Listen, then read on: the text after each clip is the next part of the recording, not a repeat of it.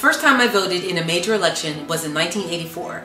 I was at the University of Pittsburgh and I was the president pro tem of the general body student government. So Jesse Jackson, Walter Mondale, and Gary Hart were the top three contenders for the Democratic primary against incumbent President Reagan.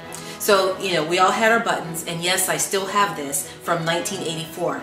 Not a hoarder, I just take care of my things. Of course, Jesse did not win the primary. Uh, it was Walter Mondale, and he lost horribly against President Reagan. This year in 2020, one of Troop Public Relations, corporate responsibilities, core values is voter registration. That's one of the reasons why I'm harping on voting so, so much and supporting Michelle Obama's initiative to ensure we're all registered to take advantage of our civic responsibility and the rights that our ancestors fought to give us the right to vote.